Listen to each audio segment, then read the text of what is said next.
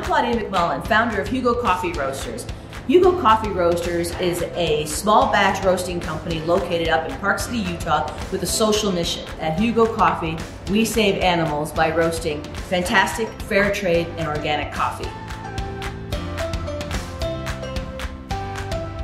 So I'm a foster failure, and Hugo's my handsome, handsome rescue dog from a, an animal rescue which is now known as Nuzzles and Company.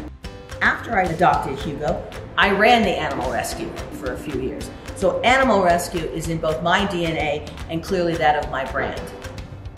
So anytime any consumer purchases one of these beautifully colored, pop off the shelves bags, Hugo Coffee will donate between 8 and 10% of the proceeds of every single sale to an accredited animal rescue.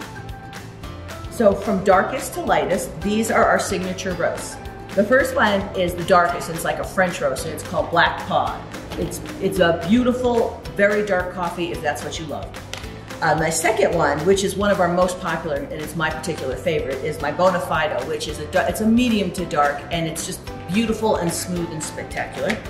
The second most popular blend we have is our rollover breakfast blend, and that's a straight up medium, as is our Howler Espresso, and this is our Dog Daze Cold Brew.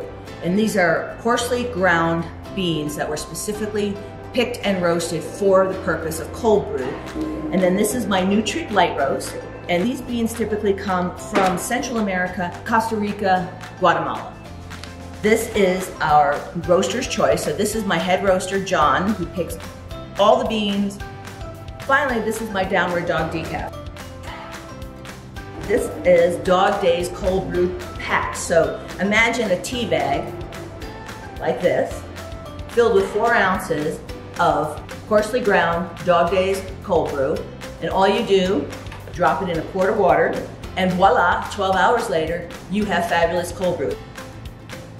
So another really fun item that we sell are these beautiful handmade, hand-thrown ceramic mugs made by my friend Jessica from Mean Mugs Pottery down in Salt Lake City.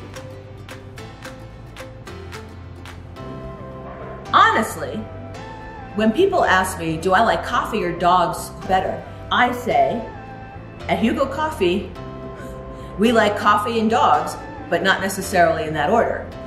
For me personally, I like dogs. I love my coffee, my coffee's fantastic, but dogs are my thing. My head roaster and partner, John, coffee's his thing. So we've married the two passions. So we have really great coffee and we save animals.